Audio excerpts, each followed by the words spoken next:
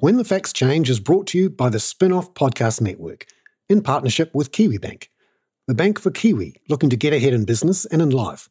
A bank that delivers expertise and banking know how, smart advice for business owners wanting to invest, grow their business, or diversify. A bank that adapts with technology through the lens of its people and customers. It is a bank with heart that is driven by its purpose. Kiwi making Kiwi better off.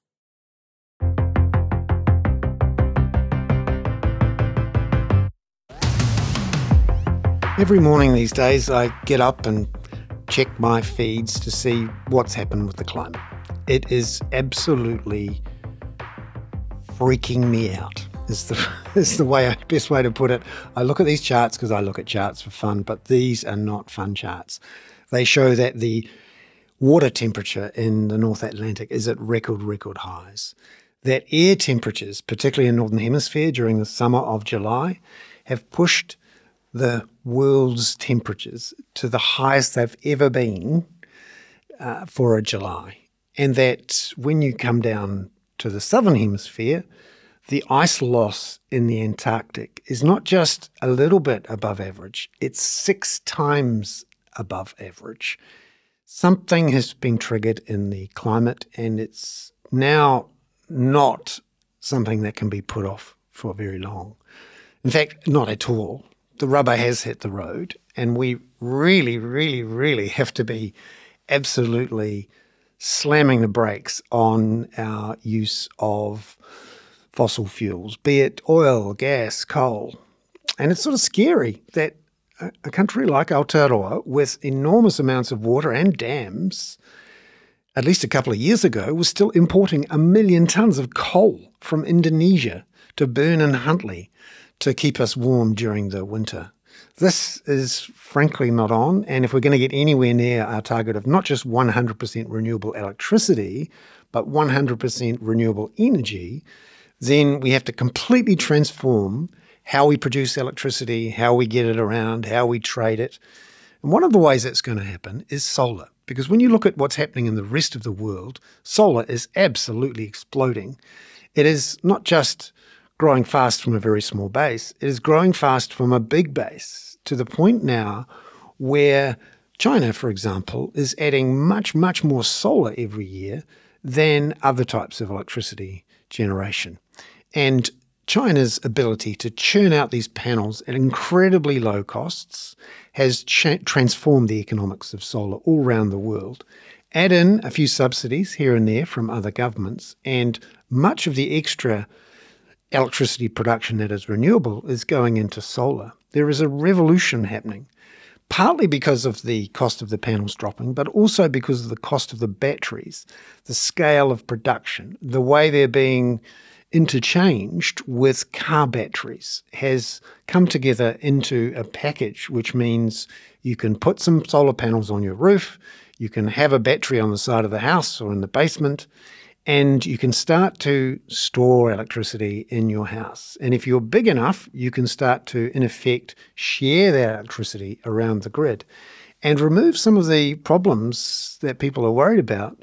If you are shifting millions of cars from petrol and diesel to electricity, the idea they're all going to hook up to the grid all at the same time and melt everything down because your electricity networks aren't strong enough is sort of scary. But once you start to have batteries and the ability to share the load and to change the demand profile so that when everyone arrives and plugs in their Tesla or whatever it is to the to the power point, it doesn't necessarily take the power then. Maybe it waits till two or three in the morning when no one's using the network and it can get electricity cheap.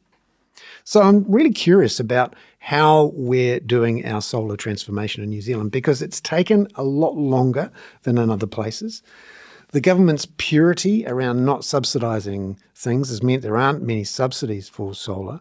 And until now, really, there has been not much focus on massive scale solar electricity uh, additions. It is, though, in the last year or so, we're starting to see a lot more solar farms being planned and some of them being built, and a lot more solar panels on roofs.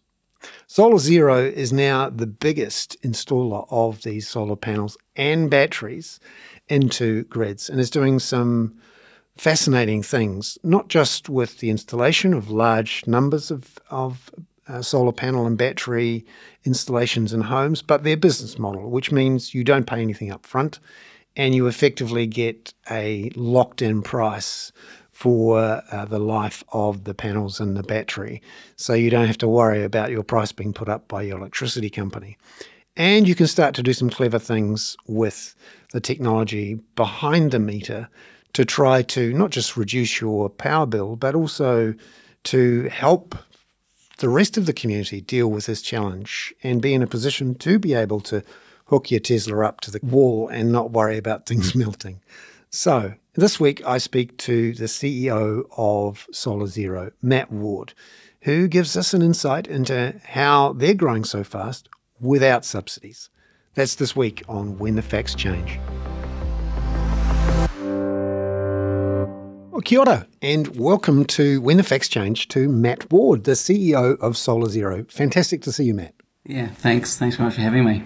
I'm curious about the solar revolution and the idea that we could electrify Aotearoa with solar and deal with some of the issues that solar wind have with intermittency but also try to you know create new ways to generate power apart from our quite centralized system that we have at the moment.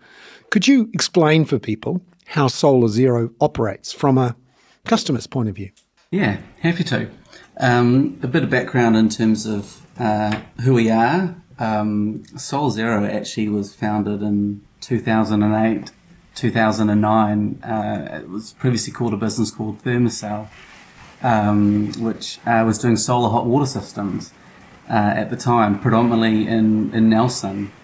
Um, and then Andy Booth, our founder, uh, bless his heart, uh, he uh, went from Greenpeace and chasing boats and what have you and settled in uh, in New Zealand with his lovely wife and raised his family here, decided to democratise access to, to solar and so started doing uh, solar systems uh, through New Zealand and the in the Pacific. Um, but very much encountered the problem that uh, solar was expensive. Yeah, back in 2010 to 13, solar was thirty-five, forty thousand dollars, uh, and Andy's vision uh, was to make uh, solar accessible for every New Zealander.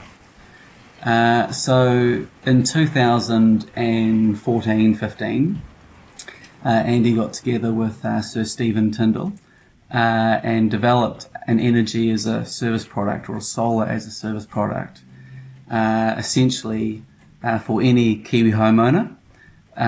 they could install solar at their house for free and uh, over 20 years they would uh, reap all the benefits from solar.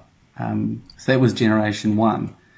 Um, then in 2018, as batteries really, really started to emerge, um, the team decided to add the battery into the service, and we partnered with um, with Ecotricity, uh, and now our service is effectively hundred percent of our customers' needs. It's still uh, zero dollars down. It has the added benefit of guaranteed savings up front, and our typical customer saves around two hundred and fifty dollars up front um, and they still get the benefits of that fixed fee for the full 20 years. So I think one way to describe Solar Zero is that it's sort of the intersection between really, really smart technology and, and really, really cool things with, uh, with capital to make uh, the energy transition accessible for every Kiwi. Yeah, I'm curious about how the, the economics stack up from a um, you know a business point of view, but also from a customer point of view. So if I get this right, I'm a customer. I'm on a, a traditional power deal. I'm paying for some electricity from the uh, gentailer, and I'm also paying some lines charges uh, to my local lines company. And uh, you're saying to me, we'll install solar panels and a battery, and you will pay around $250 a year less than what you would currently pay. And in the years to come, that uh, cost of the electricity, at least, wouldn't go up, even if there's inflation. Yeah. Um, I think that when you look at a customer's bill, around about 27% of that is in uh, the distribution side.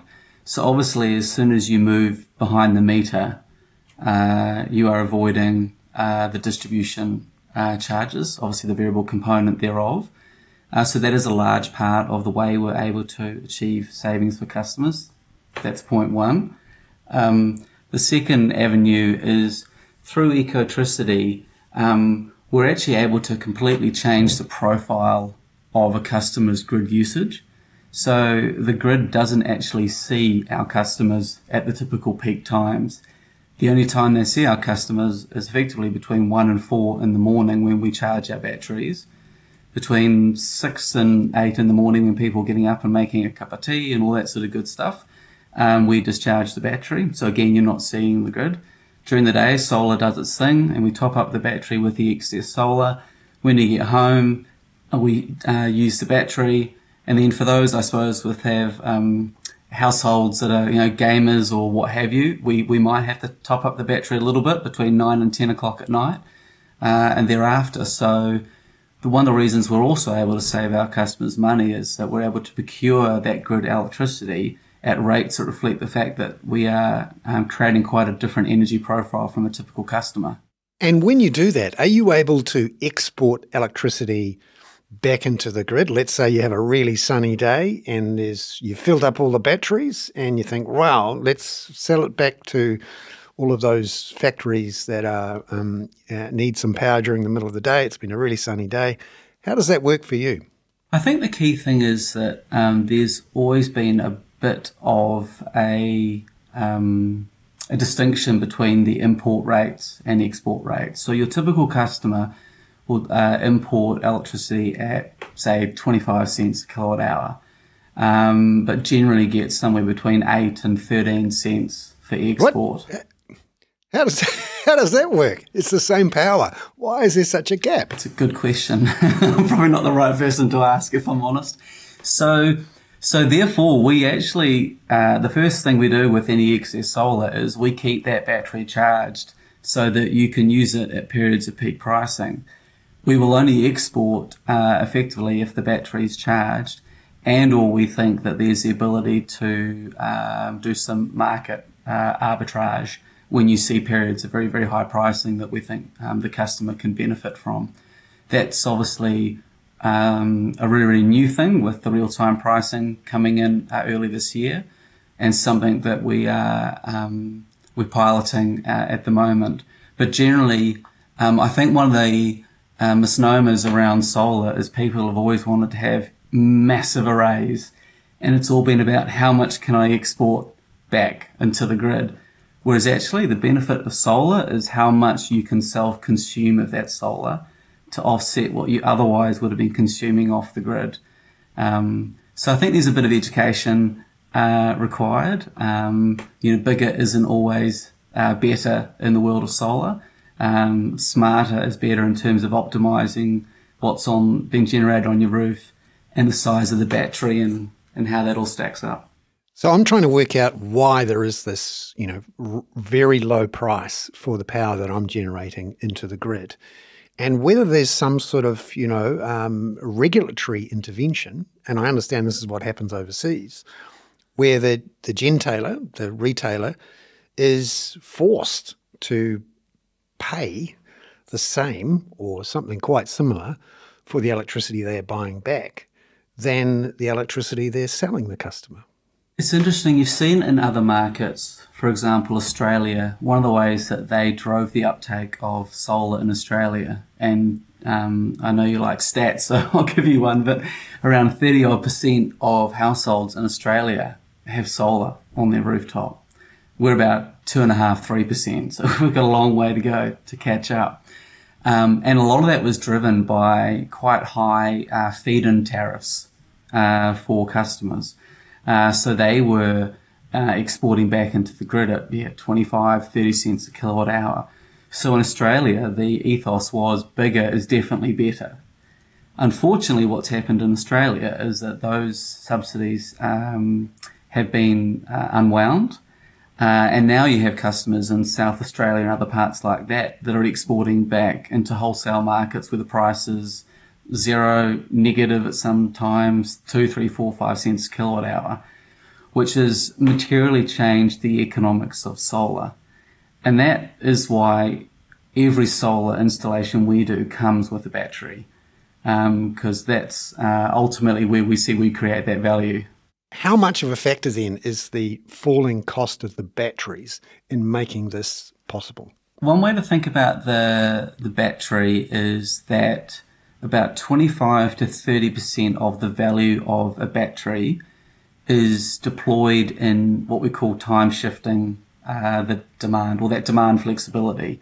So that's moving energy from peak periods to uh, off peak periods. The other 75% is actually how you deploy that battery as part of a virtual power plant to provide services back into the grid. And that's what we at Solar Zero are all about. So last year we went live in the uh, SIR and FIR markets or the reserves markets. Um, and we were the first people that we know about globally to use uh, distributed residential batteries to do that. So, could you explain how that um, works in a network sense? You have enough customers with enough batteries that, in effect, they are, in a virtual sense, storing up a lot of power in lots of different places and then you're able to shift it around virtually and then maybe export it to other customers. Is that right? Yeah, so we have around 72 uh, megawatt hours of battery storage at the moment across our 11,000 customers. So that's about the size of a, a smallish grid scale battery. A typical grid scale battery might be about a, a 100 megawatt hours or something in that order. Um, so what we're effectively doing in that instance is being uh, asked to be on standby. So we're just like other generating assets that are on call, and if needed, we'll get we'll get called. Uh, what we're able to do is through our technology, we have a, um, a computer called the ICOM, and we can sense changes in frequency. And when we sense a change in frequency, and it goes, I think, below 49.2 hertz, our systems then uh, start discharging uh, to address that change in frequency. And so that's how we participate in those markets. One way to think about it is we're a little bit like the diesel generator you used to keep in the garage, except for the we're clean and green. Um, so we're there, we're on standby, um, and that's that's how we actually make the zero service economic to our residential customers because effectively we're using 75% of the value of the battery to perform those services to help Transpower, help the lines companies, and the customers getting the benefit of that. Um, because to be honest, if you if you weren't able to do that stuff right now, you wouldn't buy uh, a battery purely to time shift in a residential setting, uh, unless you had um, you know big emotional drivers around security, stability, and what have you. But if you're purely doing the economics of it, um, unless you can do what we do, um, you would just be a solar only uh, uh, in, installation. And that's the beauty of the Solar Zero model is we like to think of it as a, a bi-directional model. On one side, we're looking after our customers and we're providing them clean, green energy, saving them money and what have you. Uh, and the way we do that is that we're also deploying that fleet of batteries or the virtual power plant as we call it to support Transpower and the like. A recent example of this is actually we were working with um, Ara Ake, who are absolutely fantastic to work with, uh, and the guys at Transpower and the EA. And we developed a, a winter peaking product. Um, effectively, uh, we're using the dispatchable notified load uh, framework that was introduced back in May, April, whenever it was, for the real time pricing. And again, we're able to receive a low residual uh, notice from Transpower, and that tells us to get all the batteries ready and then those batteries are configured to discharge when the real-time price hits $3,000 uh, a megawatt hour. Um, so what's beautiful is actually we're able to respond in milliseconds, whereas traditional gas peaker plants might be 15 minutes, uh, and uh, Huntly and what have you might be uh, a couple of hours or uh, or have you. So really, this technology now is demonstrating its uh, wider application and um, we're very, very thankful to Ara Ake uh, for, for them coming on board with that pilot. Um, we had our first uh, test last week where we had a CAN notice, um, and the systems are all ready to go. And it's just so yeah. Part of me is wishing for a really, really cold day so we can show everyone what we do, and the other part of me doesn't want that to happen for obvious reasons.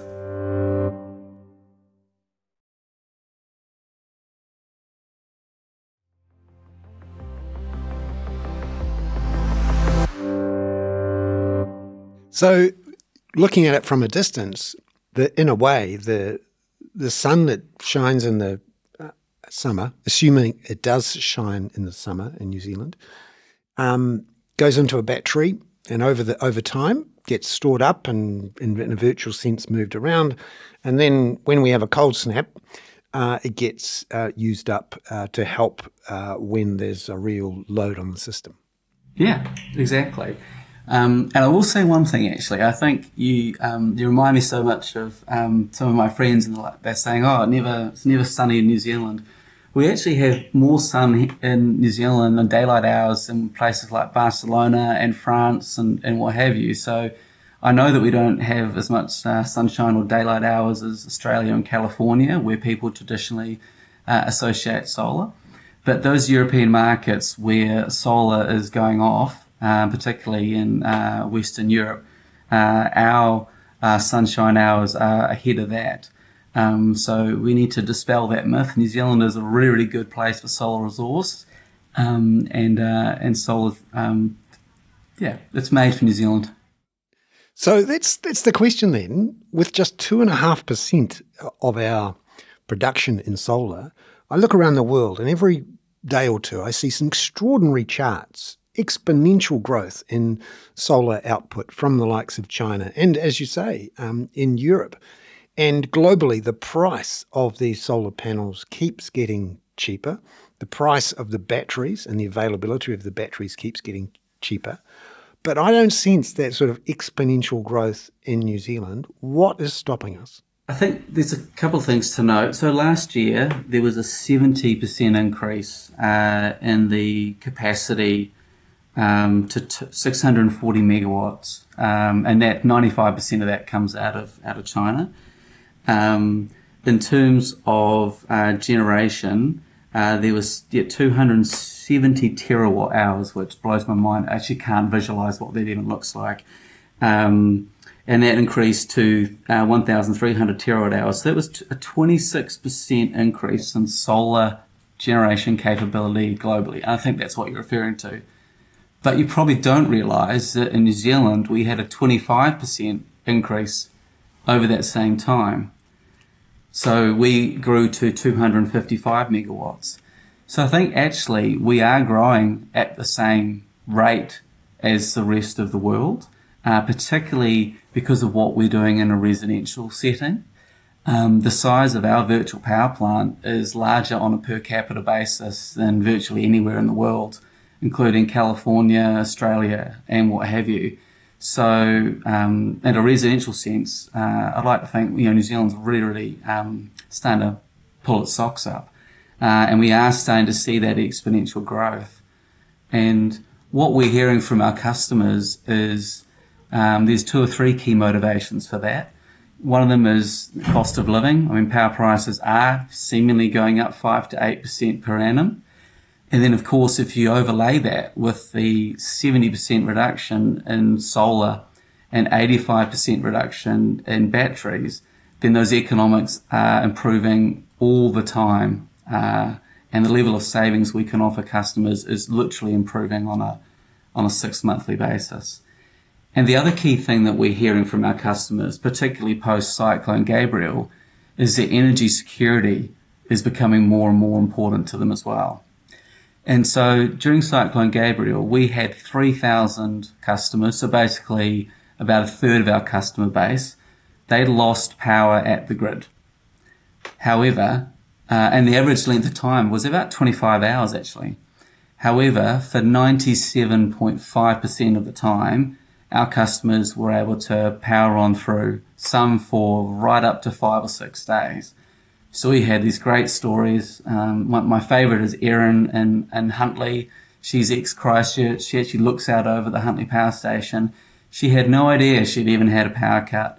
and had the neighbours over to come and uh, heat up um, the milk for their kid and what have you. And we had similar amazing stories out of Hawke's Bay. And I think as New Zealanders, we've taken energy uh, for granted. We always have just thought, if I flick the switch, it will come on. Um, but our highest um, demand days ever have all been recorded this winter. Obviously, it's, there's no secret around the uptake of EVs. Um, climate related and weather events are becoming more and more uh, prolific. So I think we're entering a, uh, an interesting period where to get to 100% renewable by 2030, we've really got to figure out how we solve what we call the, the energy trilemma. Uh, and that is making energy secure. So that's where um, da- um, batteries and storage and what have you becomes super important. Um, making it affordable um, because we can't just build things at any cost and pass that on to the customer. And obviously, the third limb is obviously the re- renewable limb uh, as well. I'm curious about um, how uh, this can be done much faster, though, and whether the government, as they have in other countries, need to get in and provide a subsidy to essentially put the chicken before the egg and to really turbocharge it.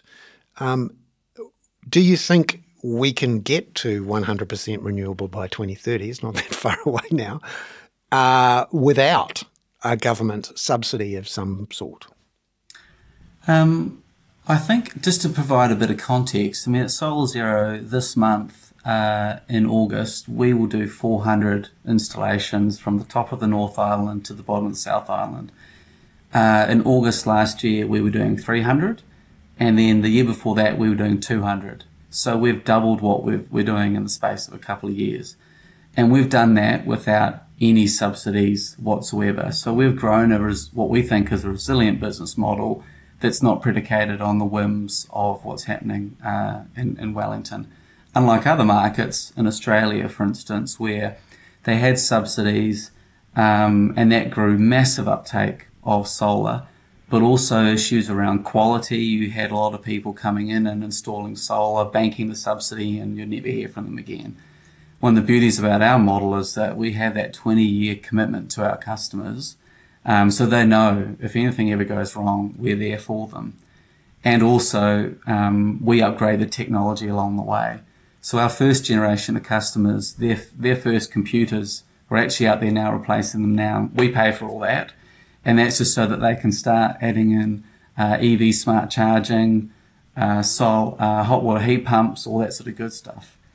Um, so I think we've We've grown really, really quickly. Um, I'd say the key impediments to our growth uh, is definitely that trained workforce.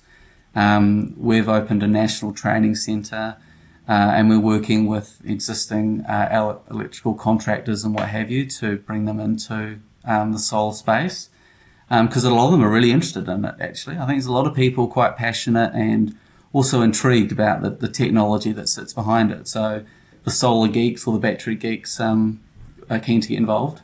Just finally, another part of the equation to get to 100% um, renewable and, and not just for 100% renewable electricity, but to really get to 100% renewable everything. So converting the diesel and petrol cars to electric. Uh, there's this idea that our network can't handle it. If everyone rocks up in their Tesla at six o'clock at night and plugs it in, the the grid goes down.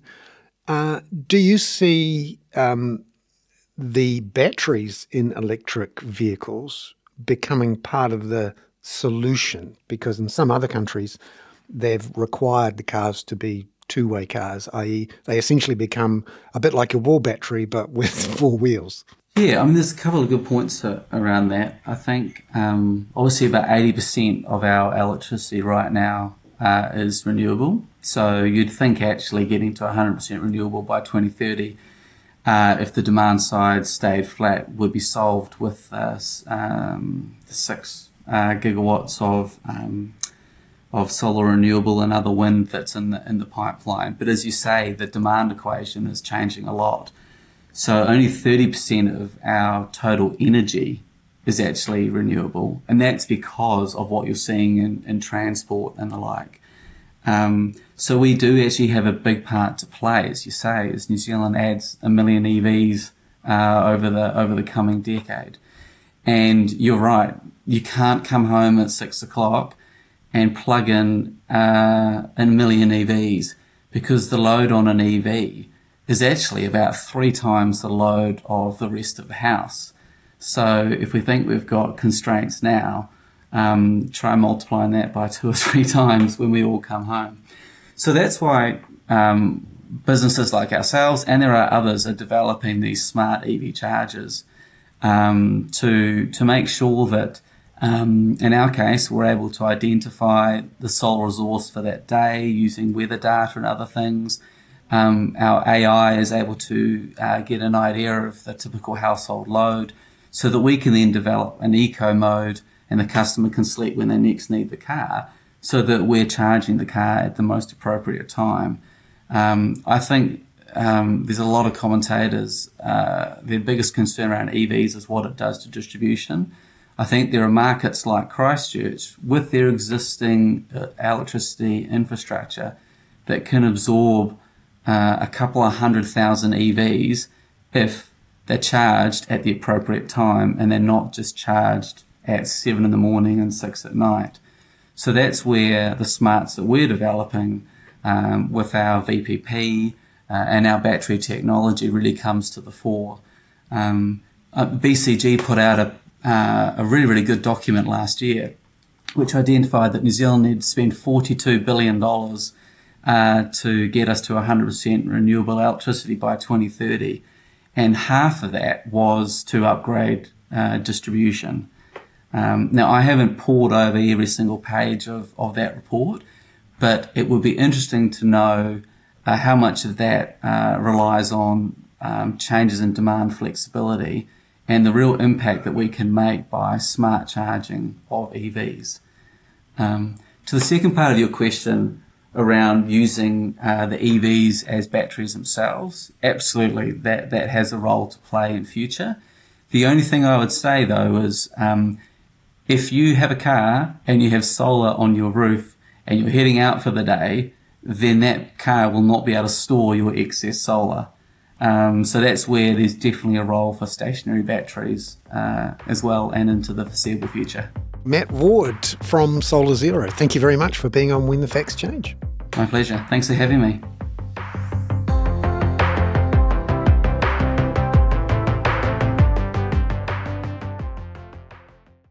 When the Facts Change was brought to you by the Spinoff Podcast Network, together with KiwiBank. Visit kiwibank.co.nz to find out how KiwiBank are making Kiwi better off.